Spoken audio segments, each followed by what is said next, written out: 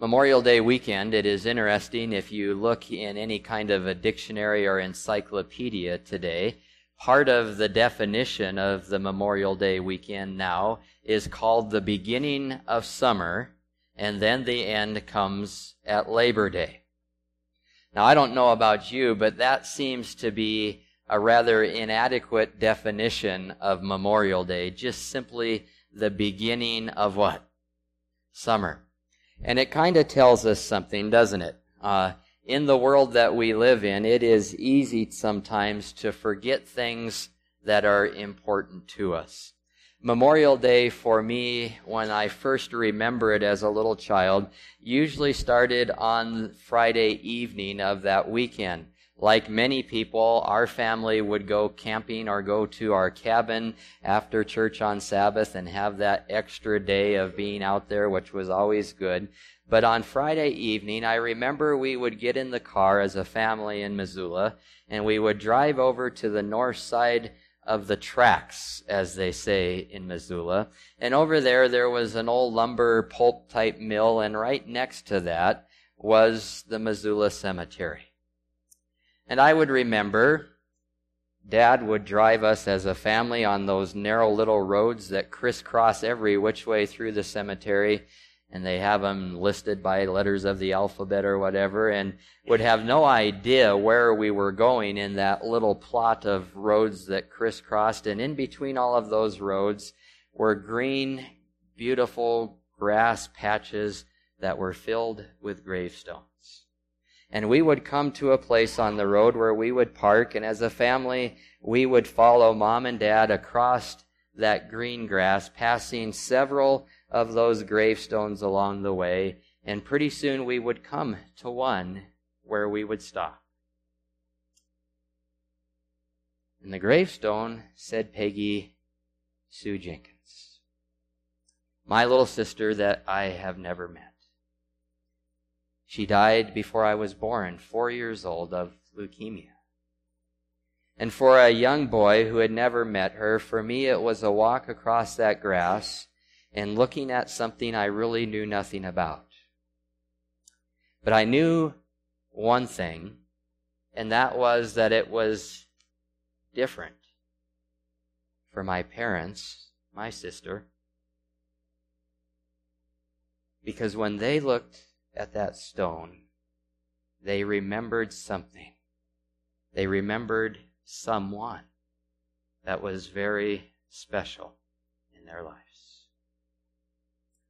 And as we would stand there, I remember after a few moments, tears would begin to form in my mother's eyes. And we would stand there for a period of time. And then mom would take a bouquet, usually fresh lilacs, off of our tree at home, and lay them there before the gravestone. And we would retrace our steps back to the car. And for me as a little kid, it was always somewhat of a relief to get back to the car because I didn't like the way it felt at the gravestone. I just really didn't understand. But as I grew older, I did because what my parents, my older sister, were remembering were from very special times in their lives, something they missed.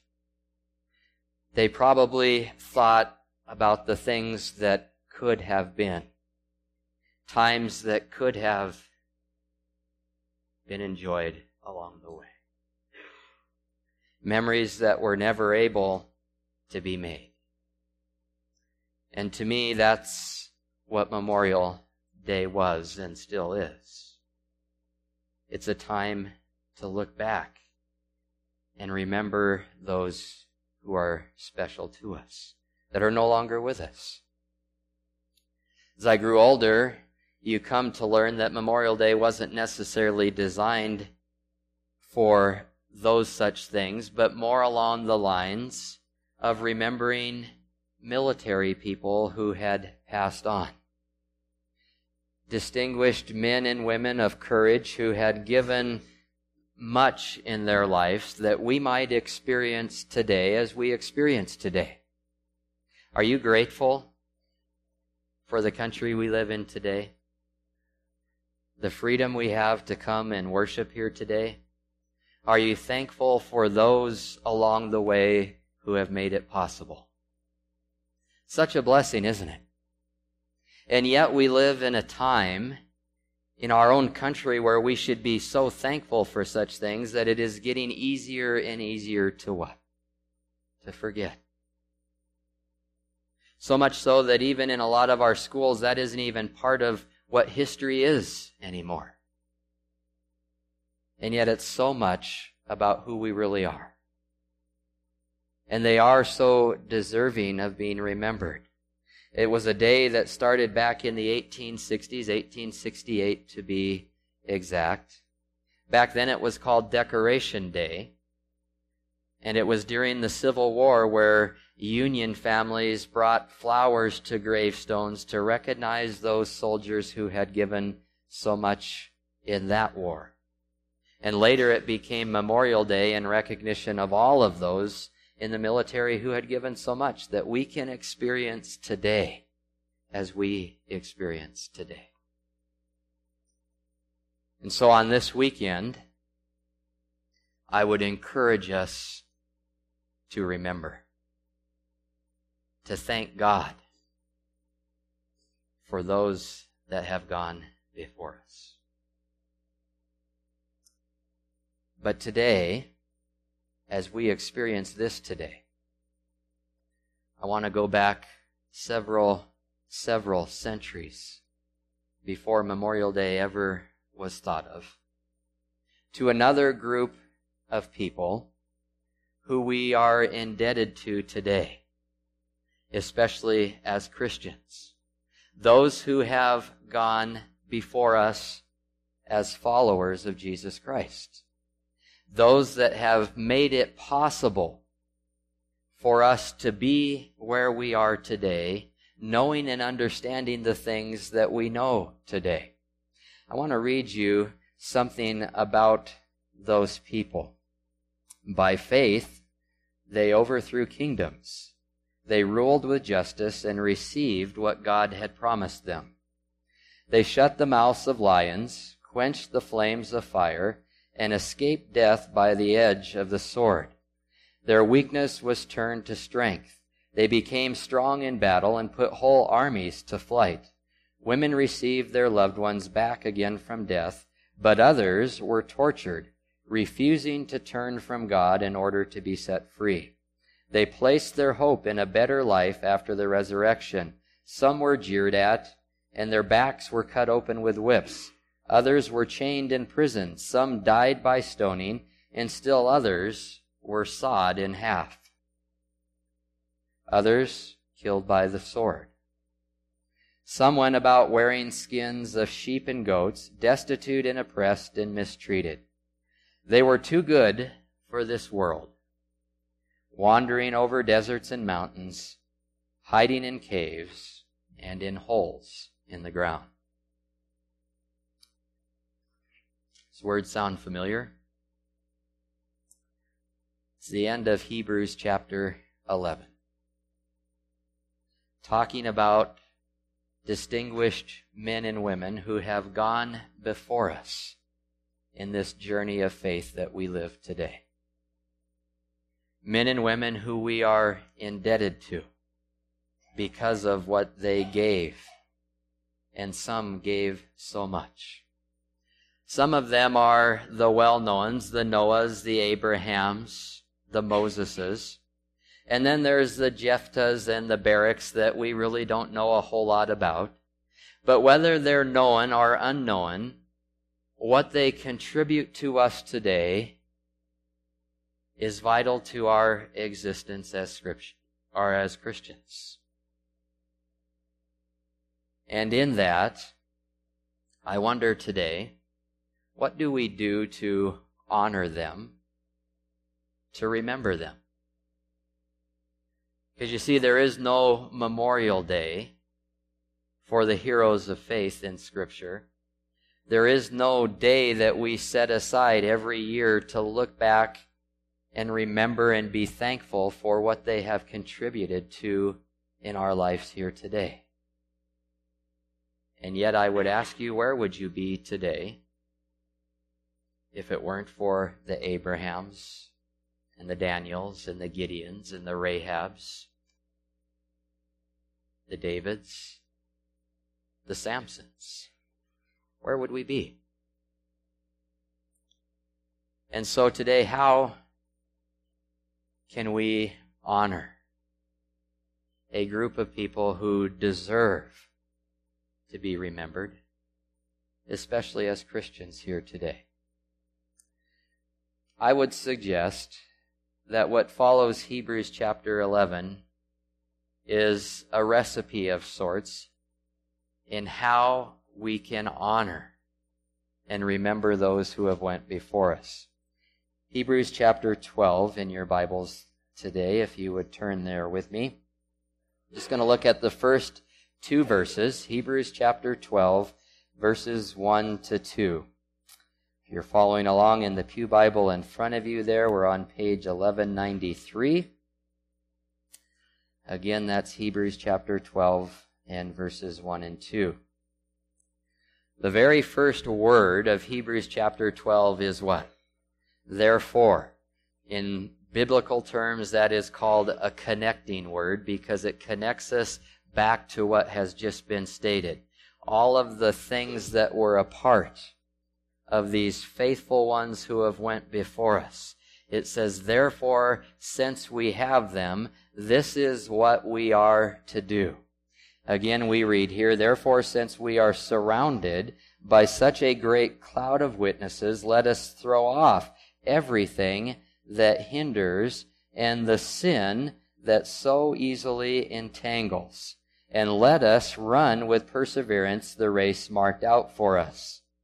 Let us fix our eyes on Jesus, the author and perfecter of our faith, who for the joy set before him endured the cross, scorning its shame, and sat down at the right hand of the throne of God. In those two verses, there is one phrase repeated three times let us.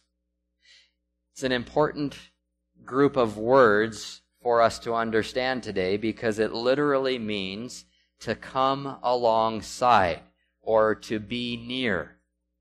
Now stop and think of some of the Bible heroes we know the Abrahams, the Moseses, the Joshuas, the Davids, all of those that we can think of. Is it possible for us today physically to come alongside of them? Can I stand next to Abraham today?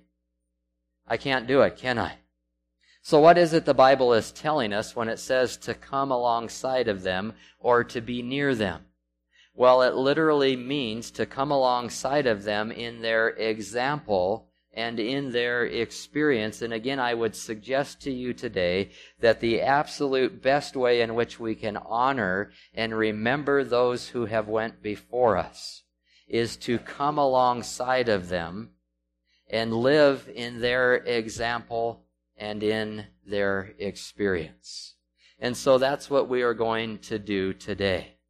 The three let us statements we are going to look at more carefully briefly in order to be able to, in our own lives, in our own hearts, come alongside of these heroes of faith and therefore honor their memory and what they have meant to us as Christians today. But even beyond that, what we take as encouragement for our lives today in what God would have us to become. So the first one, let us throw off everything that hinders. Now, if you look in the King James, it says that which weighs us down. Throw off everything that hinders or that which weighs us down and the sin that so easily entangles us. When we read that verse, typically the first thing that our minds are drawn to is that word there, sins. The sins that so easily entangle us. Anybody here ever struggle with sins that seem to just reach up and grab you at certain times? I think we all have experienced that. How many of you would like to be rid of that? Not experience it anymore? I can't wait for the day when I don't have to be concerned with that anymore. But you know, if we just jump to that and we look at how we get rid of that, we're really missing the most important part of this first statement in coming alongside of them because the first part of it says that we need to throw away that which weighs us down. I will just tell you that spiritually, one way that we struggle as much as we do as Christians is we tend to focus on the sins we have a problem and we focus on that and sometimes we even go as far as telling God or someone else that we're never going to do that again because we don't like the way it makes us feel after we've done it. And we focus on that so much that we tend to forget that that's not really the problem. The problem lies in a heart that somehow, some way has a desire for those things. So if we really want to get rid of the actions we don't like, perhaps we should focus on the heart that likes those actions. And that's really what Hebrews is telling us. Look back in your Bibles. Keep your finger in Hebrews because we will come right back here. But look in your Bibles with me back to the book of Luke. Luke chapter 21. And we want to look at verse 34, page 1043. Luke chapter 21 and verse 34. Luke 21 and verse 34. It says here, be careful, or your hearts will be what? It says that our hearts will be weighed down. In my Bible, it says, with dissipation, drunkenness, and the anxieties of life, and that day will close on you unexpectedly like a what? A trap. So there's really two things that are being talked about here. Something that is weighing down our hearts. And when weighed down, we become very much open to what is below us, which is this trap that is just wanting to get us. Now it says those things that weigh down our hearts, dissipation, drunkenness, and the anxieties of life. Now often we take that word dissipation and we just look at wild living, carousing, partying, drinking, all of those kinds of things. But that's not what the verse says. The word that my Bible defines here as dissipation actually means just living life, eating and drinking, the normal things that every one of us do every single day. Anybody have breakfast this morning? Okay, you fit within the description of what's being said here. Did anybody have a drink of water today? If you don't raise your hand, then that's a big no-no because all of you should have had some what already today? Water, okay? So you got to be able to raise your hands when you're in here, okay? Because otherwise I'm going to go home and think, man, what an unhealthy group of people. Because we had five or six people today that have had a glass of water so far. That's not very good. But anyway, we all do those things. Now, drunkenness, that is what it is, and that is part of life in this world. But then the anxieties and the cares of life. Did anybody ex- experience any anxiety in their week this week? A little bit of stress here and there, maybe? Again, we only had two, so that's good. That makes up. Jeremy keeps raising his hand. he's stressed because he's doing closing song today, so. But we all experience those things. And the reality is, it's basically telling us that our hearts can be weighed down by just living life in this world and allowing the world to become what? The most important thing in our lives. I want to read something to you here from Matthew Henry's commentary on the New Testament. Speaking of this, it says, it is speaking of all of the inordinate affection and concern for the body in the present life in world, in the world that we live in. In other words, all of our concern is about what? Our life here in this world. Goes on to say then, inordinate care for the present life or fondness for it is a dead weight upon the soul that pulls it down when it should be ascending upwards and pulls it back when it should be pressing forward. In other words, when we are so concerned about our life in this world and the things that we want out of this world, it becomes a weight that is holding us down and holding us back. A couple weeks ago, I was heading into town early on a Sunday morning and just outside of town on the right side of the freeway coming in, there was a big hot air balloon. I think some of you that live here have probably seen it in the morning hours. This is the blue one with the big yellow and red designs on the side of it. And they were just filling up the balloon portion of that, getting ready to take off. Now, in this day and age that we live, the hot air balloons are usually tethered to the ground until they have it filled, and then they undo that and they will do what? They go up.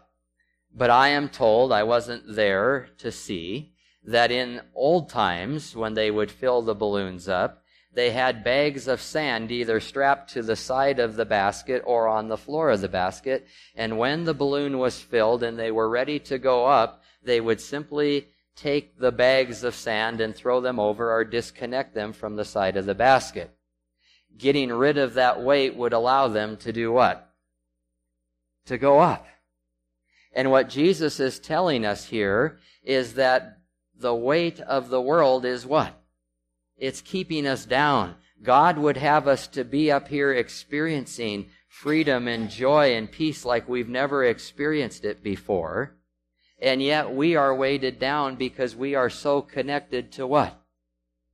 To the world in which we live it has become so important to us sometimes in our lives and, and the things that we need and we want and we expect out of this world that we tend to forget that it is weighing our hearts down. And when our hearts are weighed down, Luke tells us we become susceptible to what that is around us.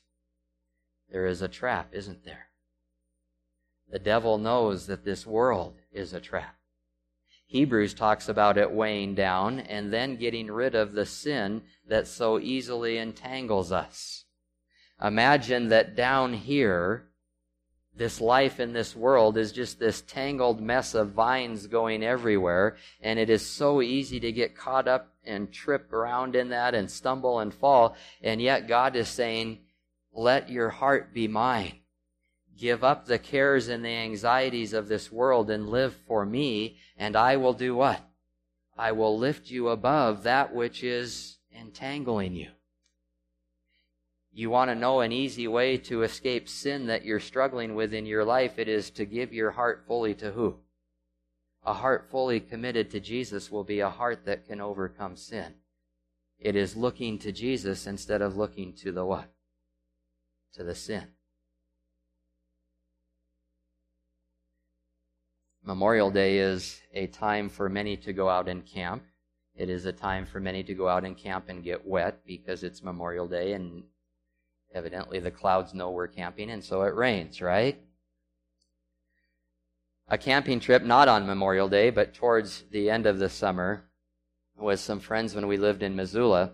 Um, we experienced something that you experience towards the end of summer sometimes, except it was like multiplied by a hundred times, and that were wasp and hornets that were just all over the place.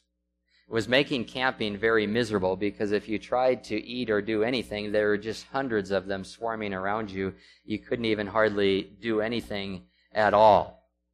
And the friend we were camping with had heard of a bee trap or a hornet trap, and it was simply this tying a piece of food on the end of a string and then dangling that over a bowl of water that was filled with dish soap.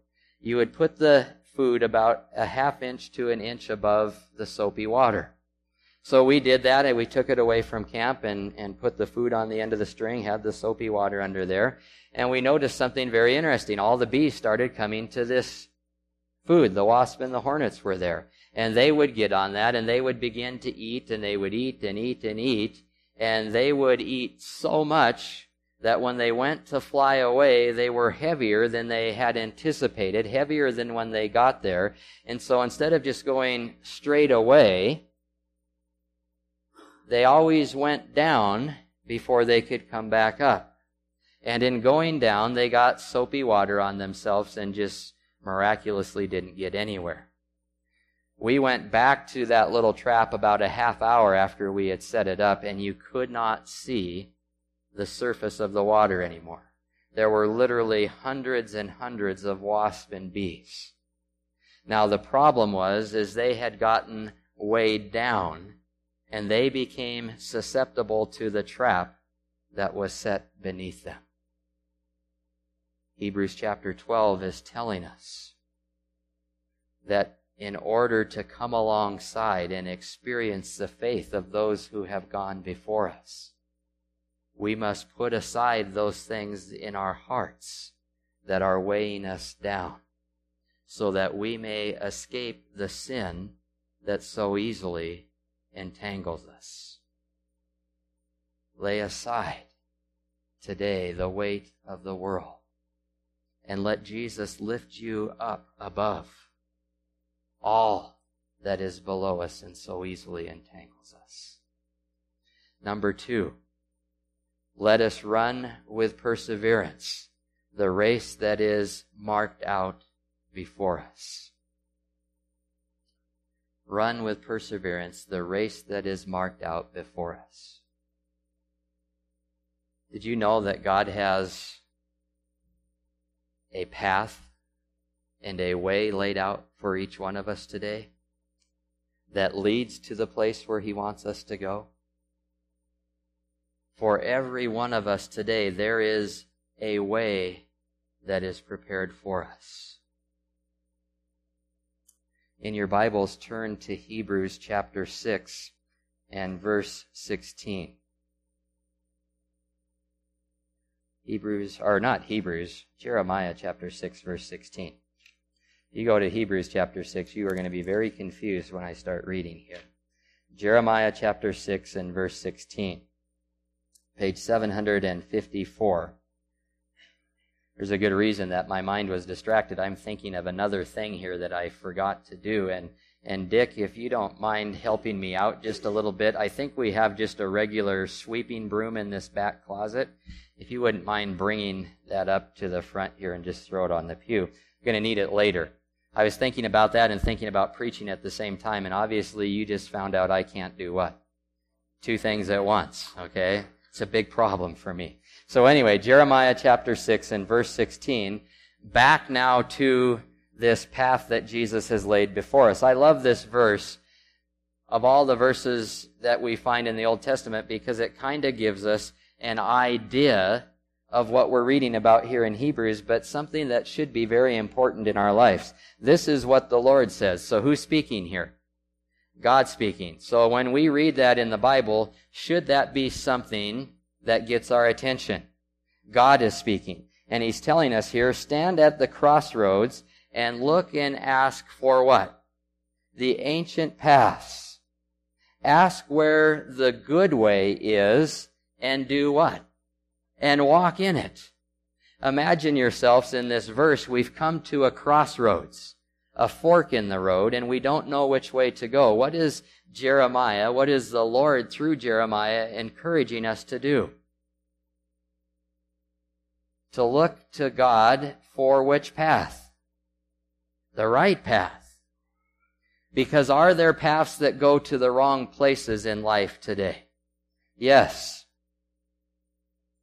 If I were to show you the Montana map, how to get to Wetsby, it's kind of like a spider web from Bozeman. You could get there a million different ways because there's a million different dirt roads out there that might get there.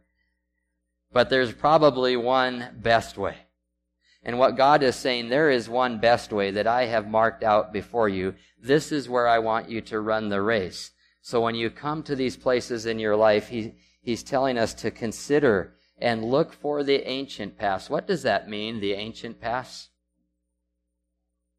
Those are the ones that people before us have what? They have gone on. They have found them to be the path that goes to the right place. It's the good path, and we are encouraged to walk in it. It goes on to say, if we do this, we will find rest for our souls. And here's the real sad part of this verse. Because it goes on to say, but you said, we will not do what? We will not walk in it. Therein lies Israel's problem.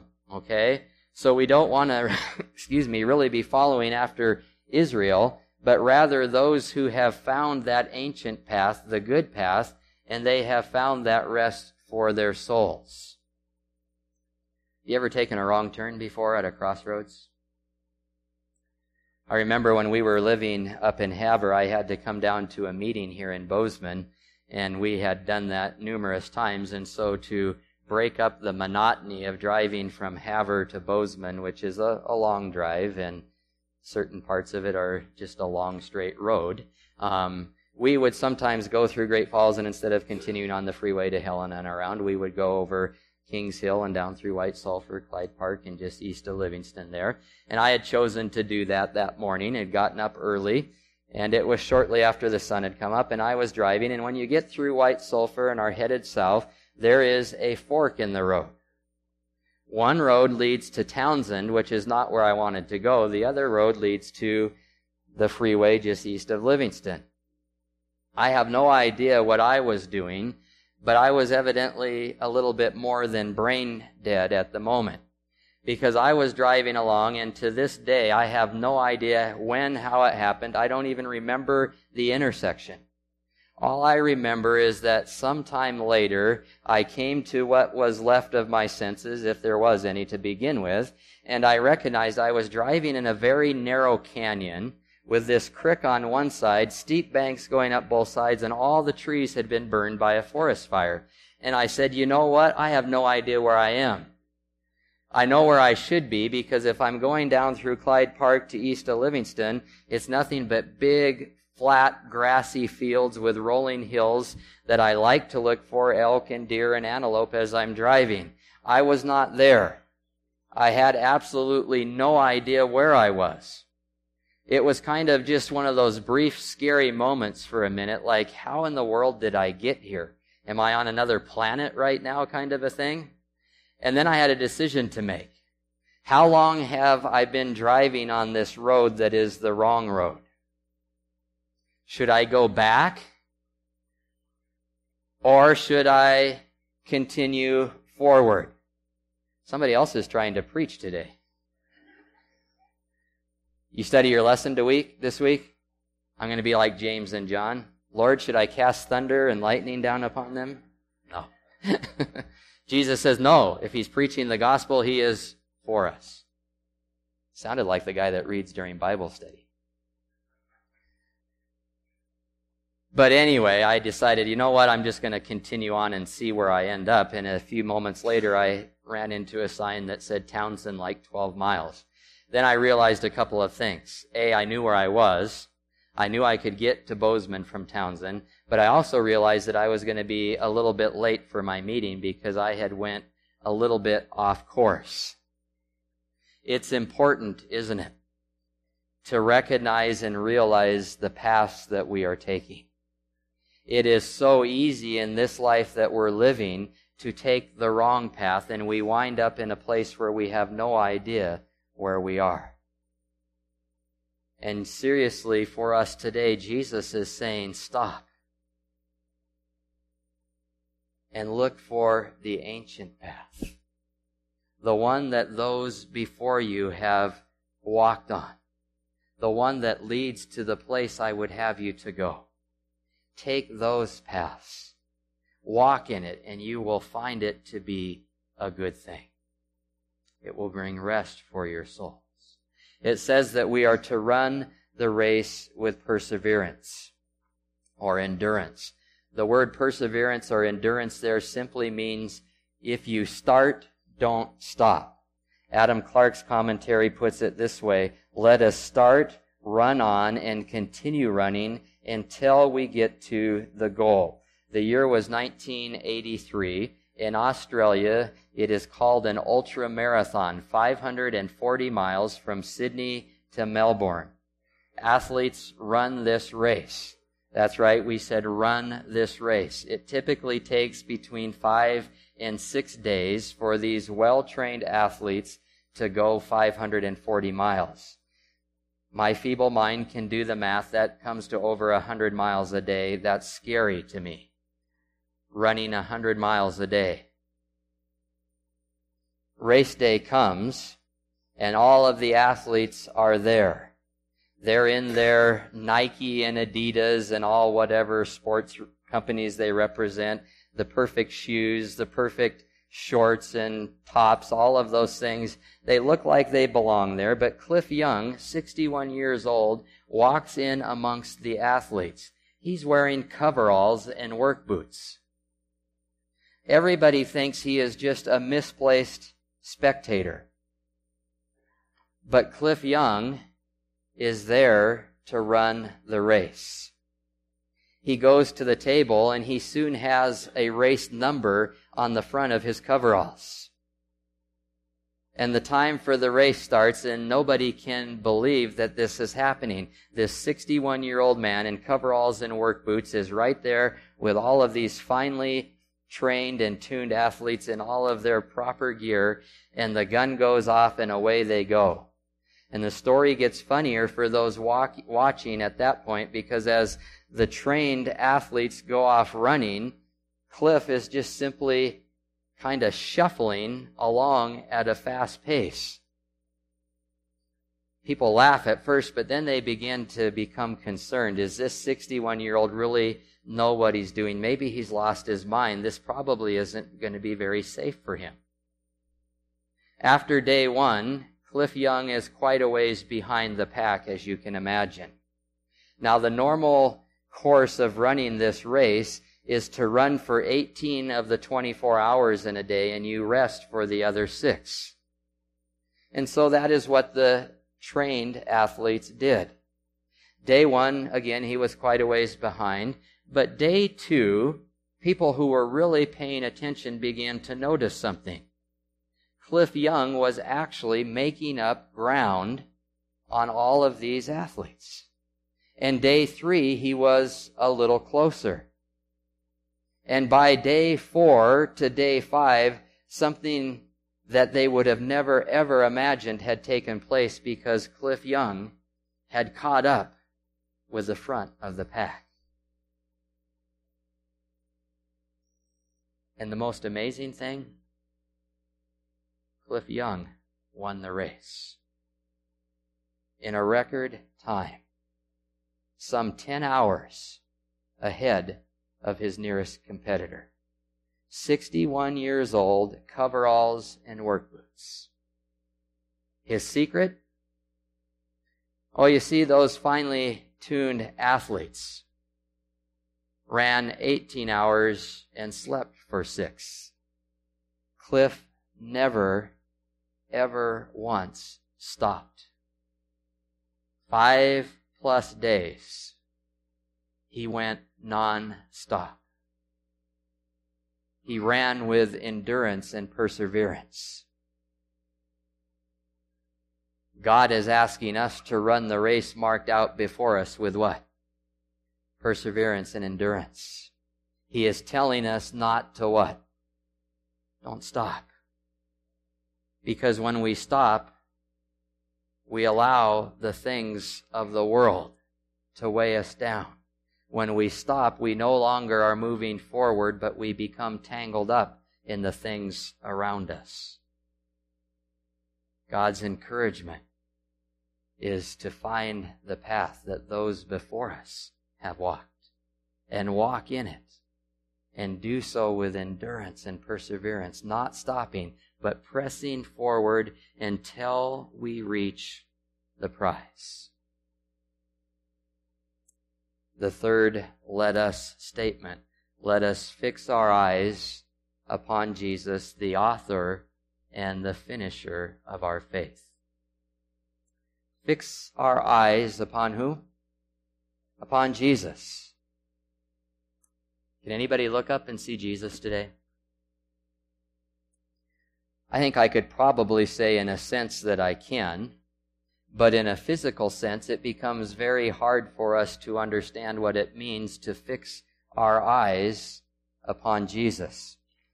Now I would have you go back to Hebrews, this time Hebrews chapter 3 and verse 1. because the author of Hebrews is going to help us out just a little bit here. Hebrews chapter 3 and verse 1. Page 1185 if you have misplaced Hebrews there. Hebrews 3 verse 1. Therefore, holy brothers who share in the heavenly calling. What is our calling? We have a heavenly calling, don't we? This race that Jesus has marked out before us leads to where? Leads to our heavenly calling, the place where we will be with God for eternity. It says, therefore, holy brothers who share in the heavenly calling, fix your what? Fix your thoughts upon Jesus. Isn't that an interesting way of putting it? When we are looking to Jesus, fixing our eyes upon Jesus, the real message that we are receiving here is that we are to meditate and to think upon Jesus. I want to read something from Selected Messages, Volume 3 here. It says, To study Christ and study his character feature by feature. Stop and think about that. What is to be our study? Jesus and his character, and we are to do it feature by feature. In other words, that isn't a wake up in the morning and read through three chapters of the Bible very quickly so we can check off Bible study for the day and then move forward. We are actually studying with an intent. And our intent is to find out about whose character? The character of Jesus. Every detail says he is our pattern that we are required to copy in our lives and in our characters, else we fail to represent Jesus. I present before you the man Christ Jesus. And listen to this. You must individually know him as your Savior before you can study him as the pattern for your example. I dare say that there have been far too many times in my life and in the lives of Christians where we have studied Jesus to try to be like him, but we have forgotten one very critical thing and that is our relationship with Jesus. You know, I hear often the relationship, relationship, that's all we talk about. What does that mean? Well, let me tell you, your relationship with Jesus means everything. If you don't have it, you will never ever be like Him. We don't study this book so we can tell somebody how much we know. We study this book so we will know who is in this book. We study this book not so we can be Seventh day Adventists. We study this book so we can know Jesus Christ as our Savior. And when that happens, when we are in a relationship with Jesus and we know Jesus, we can see every single feature of His character. And as we meditate upon those, as we behold them, we become changed and we become like who? like Jesus. Thank you, Dick, for bringing this forward. Apologies to those who have seen this before, because some have. Kids at the elementary school, and if you've been at the Schumacher's house for Bible study, this was demonstrated by Lee Venden there. But simple broom and a simple task, seemingly. Try to balance, and you can go home and try this. Balance the broom on the palm of your hand. First way to try it, okay, is that you have to focus only on one place and one place only, where the broom hits the palm of your hand. That's the only place you can look, is right there.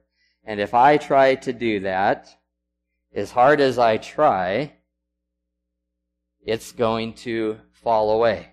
I can't do it and I won't take any more time trying. But now I'm going to show you something different. And to make it even more difficult, I'm just going to use two fingers and not the big palm of my hand. Two fingers.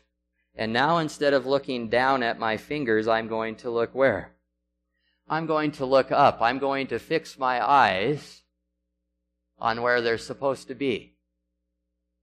And it becomes something that is very easy, even for someone like me.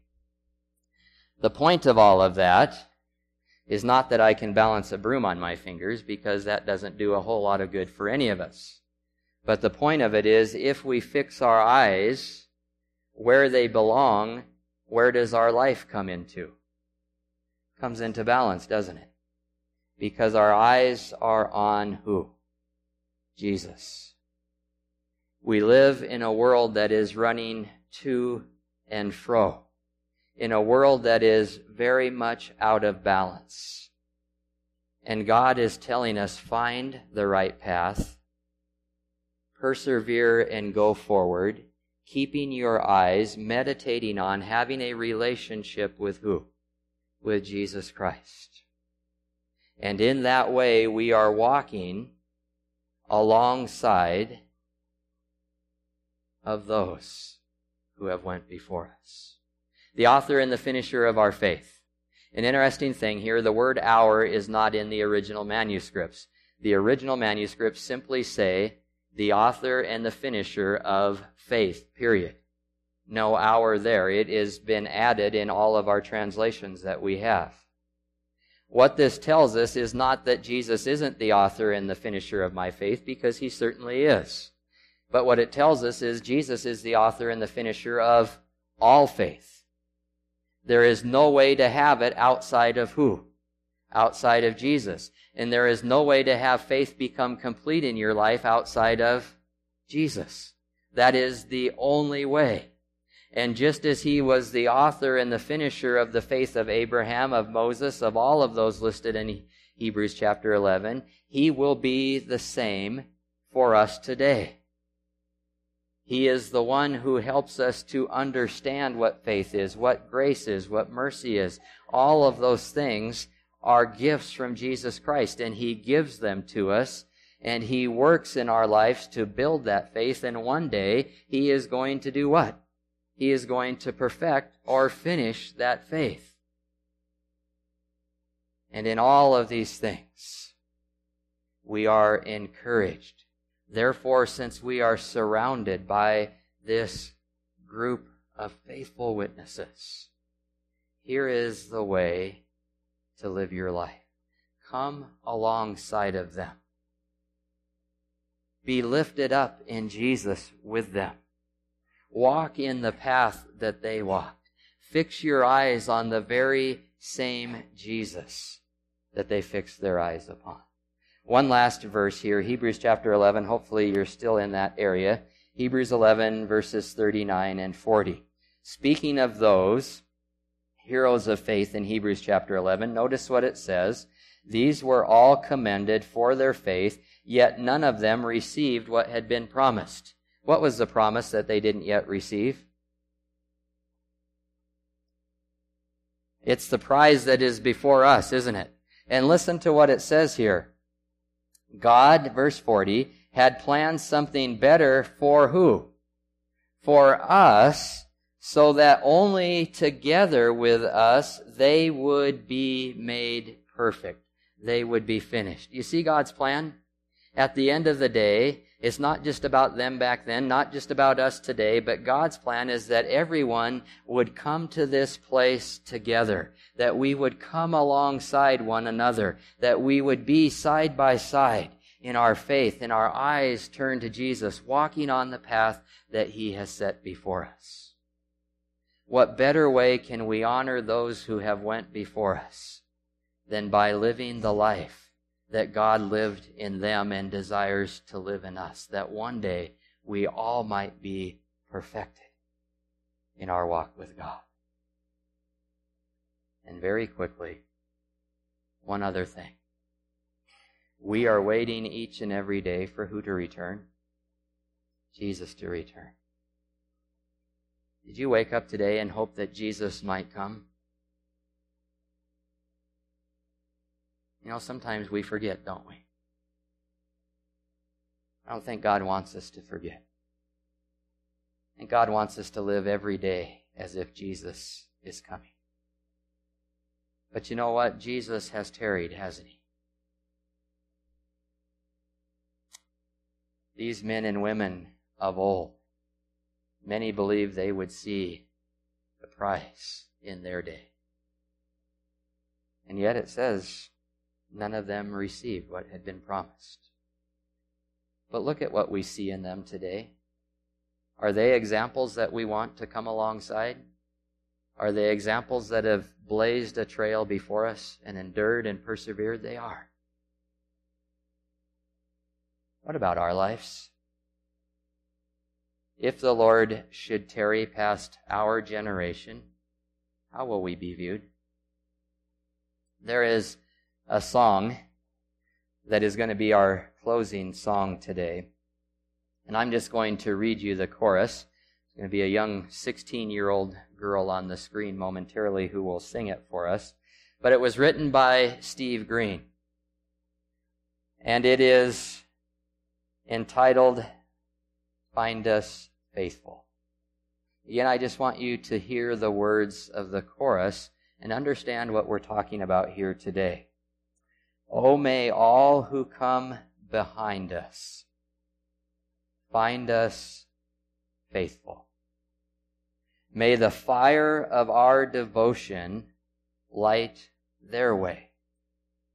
May the footprints that we leave lead them to believe, and the lives we live inspire them to obey.